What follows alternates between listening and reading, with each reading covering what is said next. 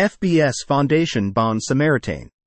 According to many experts, including Harvard, maintaining a healthy lifestyle is critical for a strong body and immune system.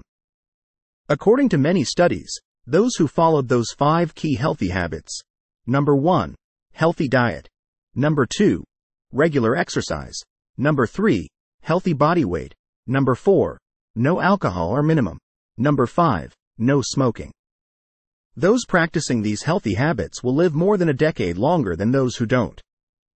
Plus, by maintaining these healthy principles will help to live longer and more years.